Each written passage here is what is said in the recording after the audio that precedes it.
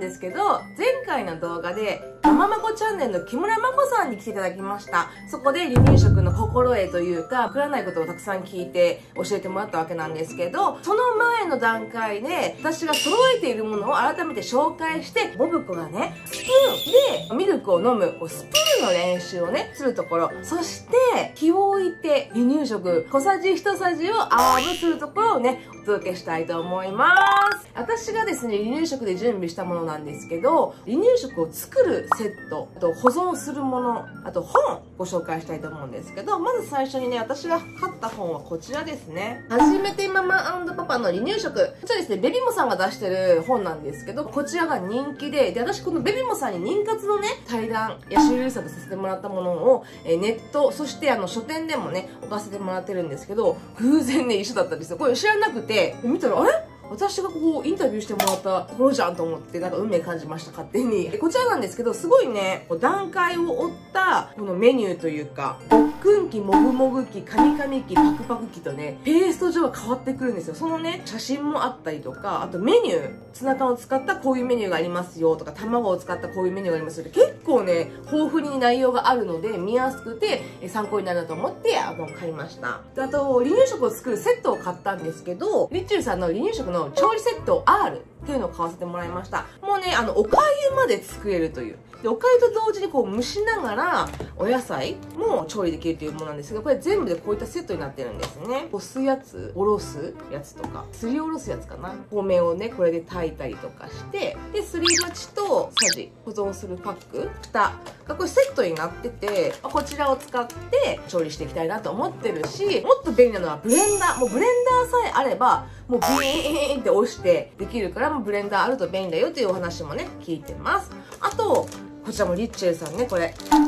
冷凍保存できるやつですね。小分け冷凍で。で、離乳食最初に使うお皿とスプーンなんですけど、ステップ1のごっくん機っていうもう一番最初のね、5ヶ月頃からということで、ここにスプーンも2つついてるんですね。こういう器になってて、これでやっていこうかなーっていう感じですね。お皿についてなんですけど、まあ、これはね、あの、いただいたものをご紹介していきます。まず1つ目が、クルーゼさんですね。なんかグラタン皿みたいな感じと、あとクマちゃんの形のね、これもガラスでしっかりしてる。可愛いピンクだし、こういった感じですね。クルーズ書いてます。まあ、これは陶器で今使うとこう手バーンって当たってガシャンってなっちゃうからもうちょっと大きくなって自分で食べられるようになってっていうので使いたいなと思ってますねあとこれはグランデさんかな？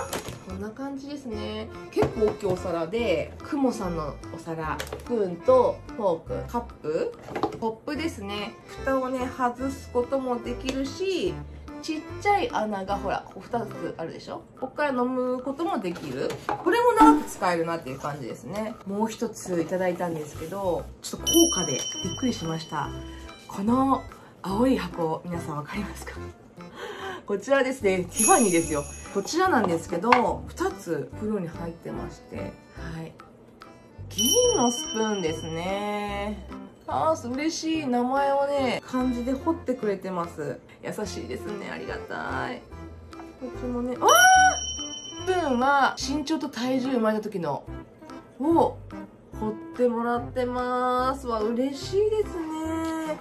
この銀のスプーンとフォークっていうのは意味があって一つは一緒。赤ちゃんが食べ物に困らないようにっていうこの思いが込められてて。で2つ目が魔除けの効果があるっていう銀で赤ちゃんを守ってもらうっていう意味があるらしいです。で、まあ、3つ目がこのスプーンを作った職人さんの熱い思いがこもっているということで。このねもう銀のスプーンはヨーロッパでは昔からその銀のスプーンを加えてきた赤ちゃんは幸せになれるっていう言葉があるらしくて、まあ、これを送るっていうのはねなんか結構有名らしいんですね。ということでねスプーンを慣れさせるっていうね練習。そして文庫の離乳食の初めてをお届けしたいと思います。ご覧ください。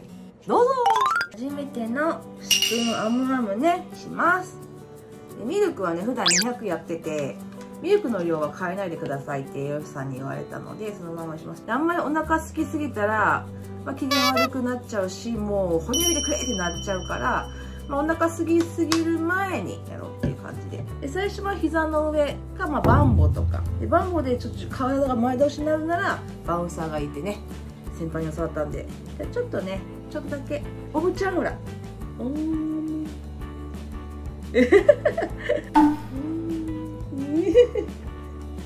まだ早いかな。でもすごいよね出す。あミルクミルクほら。どうですか？この顔よ。あのこの間まで薬をやってたんです飲ませ薬。もうそれが大嫌いでほっぺこうして飲んでたからね多分それでちょっとねすごい抵抗があるみたい。おミルク。あああいけた。あちょっと飲めたね。あらあら。あらこれ知ってる味だな。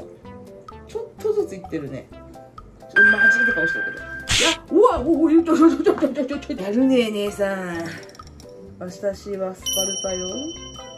おい。親瓶。おてては食べるけどね。これ毎日練習だね。あ飲んだ？お飲んだ飲んだ飲んだ。ごくんしたじゃん。少しずつやね。すごいすごい。ほんとこんなもんですよ。もうこんな全然。これをこう繰り返しやっていってお米いけるといいな。っていう初日でした。頑張ってねえー、嬉しいね。ちょっとね、さっきミルクスプーンでね、初めてやったんだけど、ちょっとね、拒否気味だったんで、スプーンで遊びたいと思います。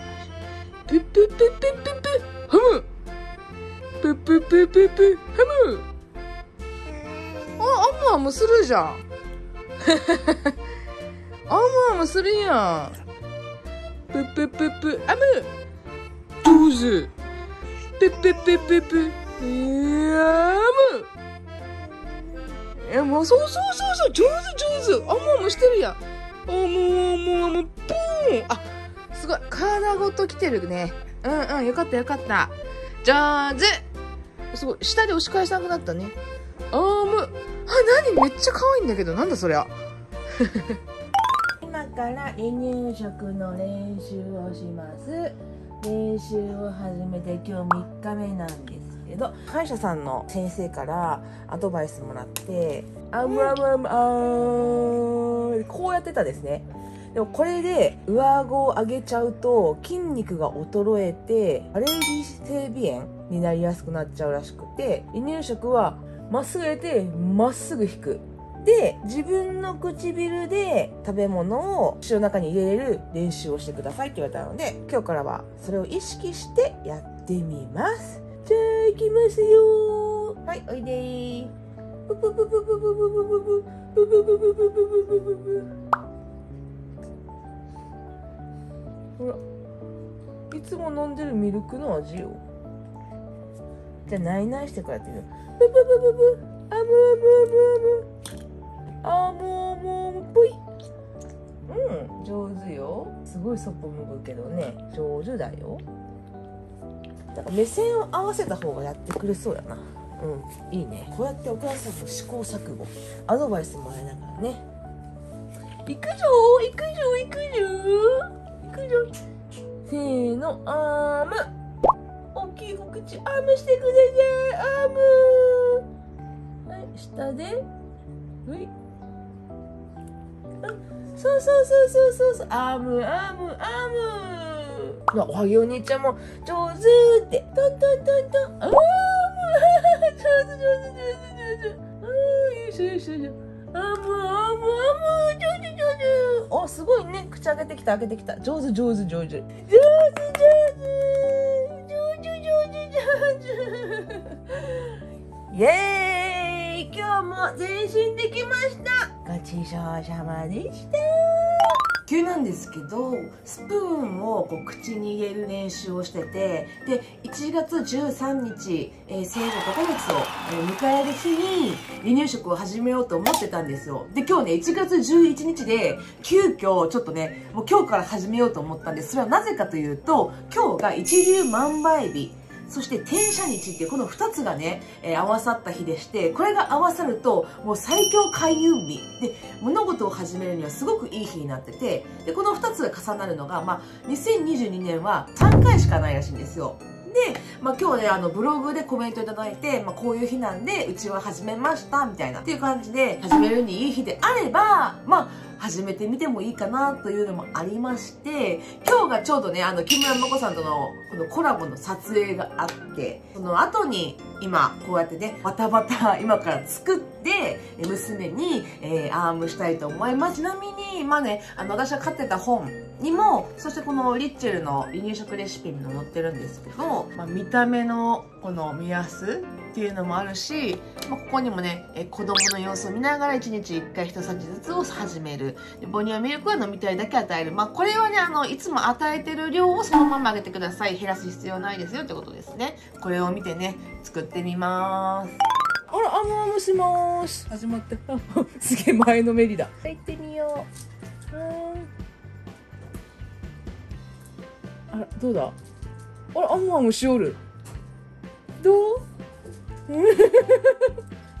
べどうですか？美味しいですか？はい、アームです。あ、でも口開いてくれてます。スプーンを、あれですよね。で、やっぱ粒はもうちょっとあるな。あ、でもなんかちょっと、うんうん、オムオムオム、上手。ポカーン。あ今これまこさんにも見守ってもらいながらやってるんですけどまこさんこれどうですか？あら嬉しいはいはい、あ、ごっくんできれば満点。よし、ごっくんできるの見せてください。はい。はい、あわ。うん。はいはい。おはじも応援してくれてるよ。はいはいはいはい。ごっくんごっくんします。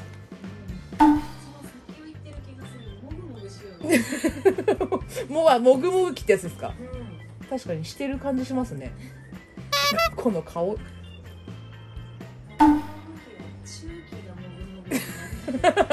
あれもうとすっ飛ばしてますあなた。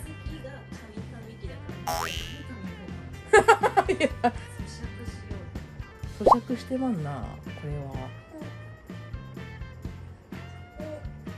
あむ。この顔。出しながらやらんでくれる。でさっきちょっとアドバイスいただいたけどスタイも気をつけた方がいいんですよね。